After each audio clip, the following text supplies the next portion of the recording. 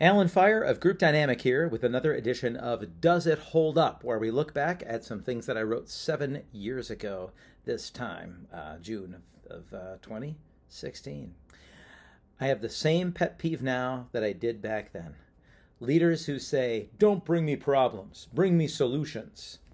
I, I, I'm not impressed by that, and I think it's a bad idea. And here's why you've been promoted to a position for a reason it's probably because you're better at solving problems than the people who report to you.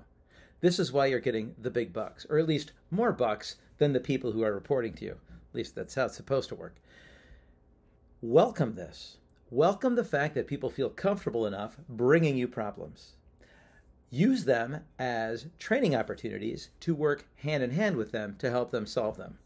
Apply a bit of situational leadership to the situation to decide how much or how little hand holding to do, but be intentional and deliberate about it and welcome it. They're interested in bringing problems to your attention, and they should be interested in solving them. Give them a shot.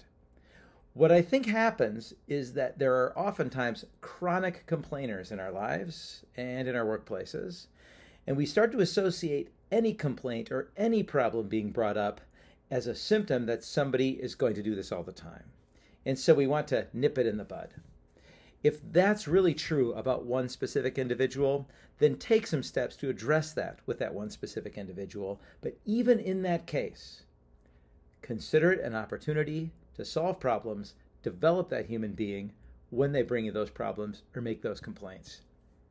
Some more guidance is provided in the written part of this, but uh, I want to hit that point hard welcome these things. They feel safe enough to bring them to you. Use it as a developmental opportunity because that's uh, that's what we're here to do. Deliver some results. So do it hand in hand with them.